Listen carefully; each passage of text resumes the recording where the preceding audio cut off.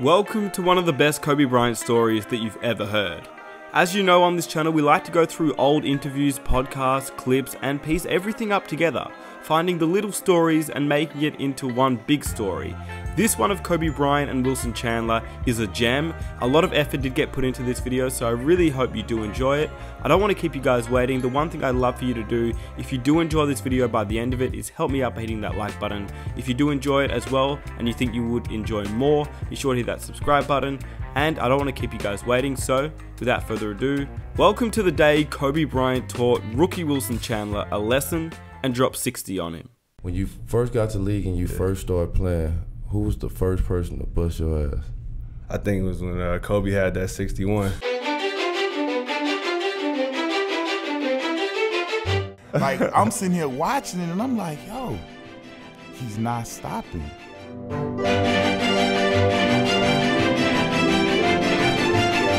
It's a competition, and my, my mission is to destroy you.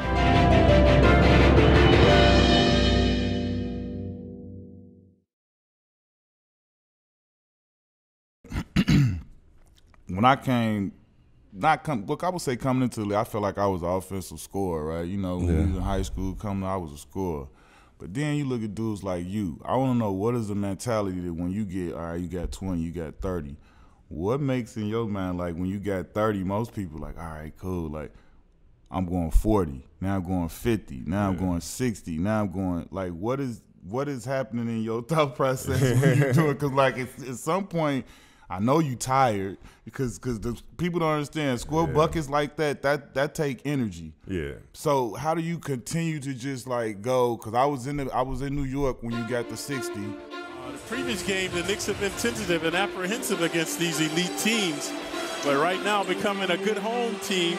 So the home cooking is giving them confidence, and they must continue to exude that confidence against the Lakers. Andrew Bynum, we just lost the game before. Mm-hmm. He got an injury against Memphis, right? And so mm-hmm. I'm like, we just lost to the Celtics in 08. We think we got Andrew, it's going to make a big difference for us. Now he goes down, we don't know how long he's going to be out for. The team was a little deflated. I was pissed off. You know what I mean? Because it's like, no, we're winning the championship this year, come hella high water. And my guys were down. And going into New York, big game, I said, all right, I got to send a message to my guys and say, no, listen, we're doing this. I understand it's hard, you went down, but damn it, we're getting it done. Yeah. So it's important to get into that mind frame of no, nothing matters, and I don't want to talk to nobody. I don't want to see no celebrities on the sideline. Don't dap me. Don't say hi to me. I don't care about none of y'all tonight. Yeah, you just focus. that was it. Was that also part of like you was coming into the garden and everybody loved to play well in Madison Square Not Garden? that game. It didn't matter. No, that game it was bigger than that. Like it was about us winning the championship. Like my guys were deflated, and it was like, no, we're going. We're getting it done. I understand Every injury game ha- counts. sucks, but we got to keep on moving. And I had to find that space. I didn't go out to dinner in New York. I stayed in my room. Um, this is actually the story Rob told that that he got confused about the Heath Ledger stuff. I remember just a really quick story. There was one time when Kobe, who I worked with for 18 years, was going back to play Madison Square Garden, and he had just seen The Dark Knight. Obviously, you guys saw that movie. And he's like, hey, hook me up with dinner with Heath Ledger because he got so locked into that role. I want to know how he mentally went there. And so we had dinner with Heath and he talked about how he locks in for a role, and Kobe used some of that in his game Great. against the Knicks. Yeah. Because I stayed up watching Batman. Yeah. and watching Heath Ledger, and then I went and started researching about Heath Ledger and how he got into character and how he just became became all consuming. I was like, that inspired me to go into my garden mode where I go in there. I don't want to say hi to the janitor. I don't want to say hi to these people. I don't want to talk to nobody. What? Everybody leave me alone. Wilson Chandler was a he's a rookie then.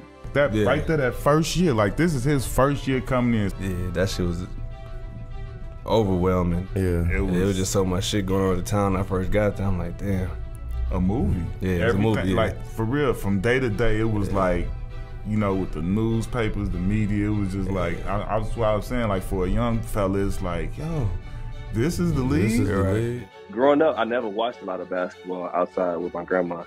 But when Kobe started playing, when he got drafted, I would faithfully watch. I would watch all Kobe games. So I kind of grew up like idolizing Kobe. So that's he's my he's my Michael Jordan. Like how people like had this nostalgic thing with Michael Jordan. That's what Kobe is to me. Crazy. I remember we started the game off and shit. So I'm I coming off the bench at the time, so he killing. As we get underway here at the See, the Laker bench is all standing, I guess, until they make a hoop. Kobe Bryant. And now they will take a seat. right on cue. Lakers, the number one scoring team in the league. Kobe Bryant to three. He's two for two. Kobe Bryant, three for three. Well, Bryant, like many of the elite players, whether it was Michael Jordan or LeBron James, and now with Kobe Bryant, they love to play at the Garden. All players will say that. Shot clock winding down. Bryant comes to the basket, lays it in. I'm looking.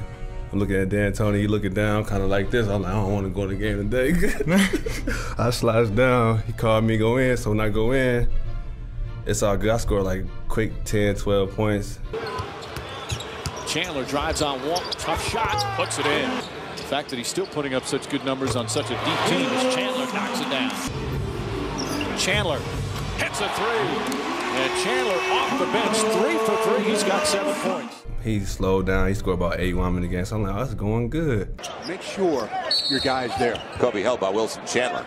Watching film leading into the game, I knew Wilson.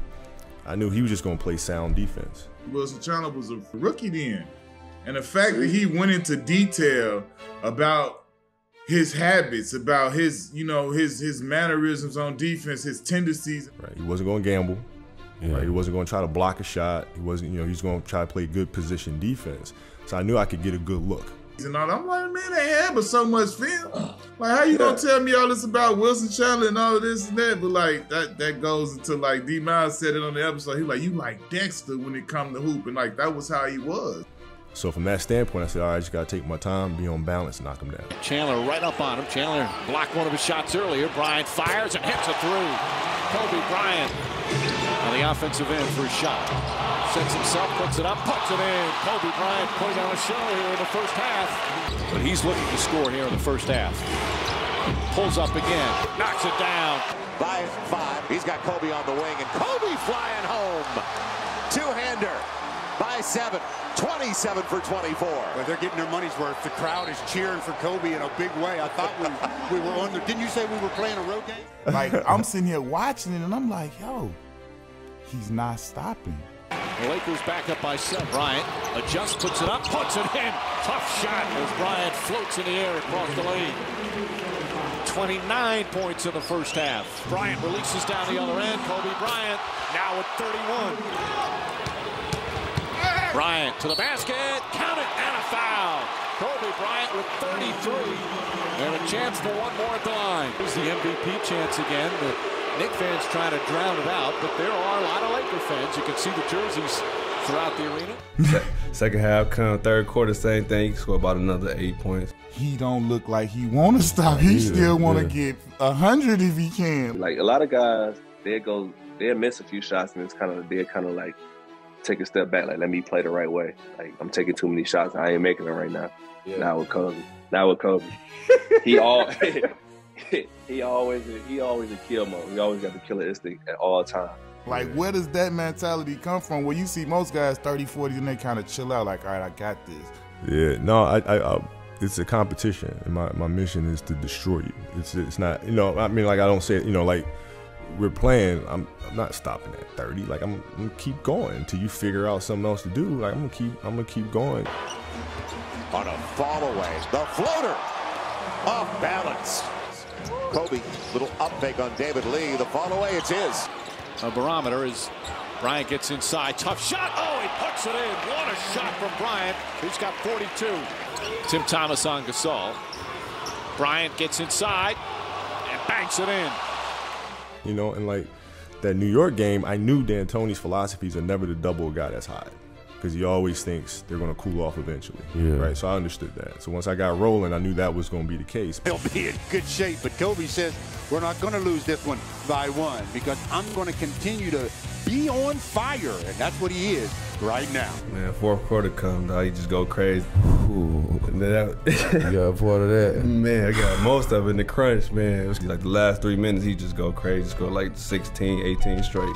I'm like, this this shit's amazing. Kobe off the bench. Never stop, yeah. never stop. Bro trying to block shots, man. Eyeing on Chandler. Head fake, draws the foul.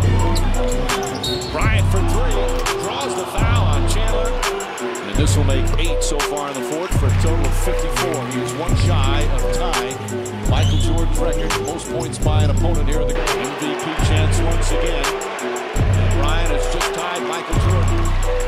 Extraordinary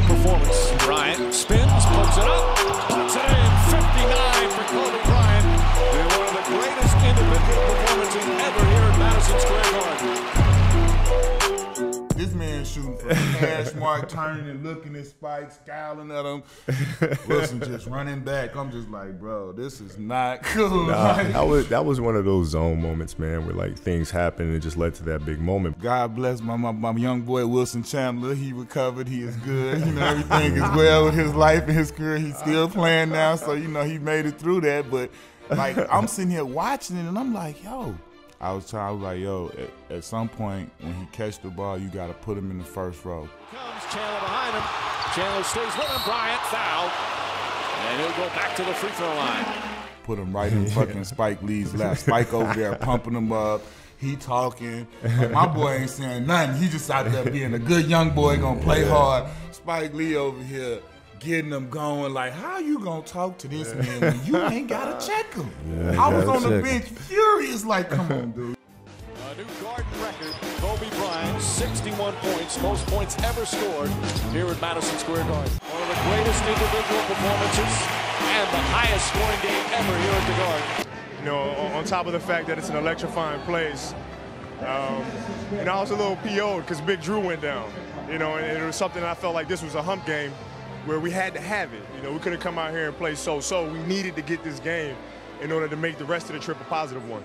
In my opinion, when it get down to to to just the killer mentality and the killer instinct, can't nobody get up in that room with Kobe and MJ. They belong in that room by their damn self. They can't nobody come can't nobody come up in there. Thanks, Kobe. This building opened in February of 1968. Every great player that since then's come through, you know, hold the scoring record in this building. How does it make you feel? Oh, I didn't know that. that, that's, that no, that's pretty awesome. The opponent record was Jordan. He had 55. The record was Bernard King at 60. You just passed them both. Wow, man, that's that's uh, I don't know what to say, man. That, that's that's awesome. It's a blessing. Like when you talk about the, the the the set of what they bring to the table and how like what I fight you, I I score sixty on you, I you know what I'm saying, I lock Right. you down like they by themselves. And if you guys enjoyed this video, I'd really appreciate if you guys could help me out by hitting that like button.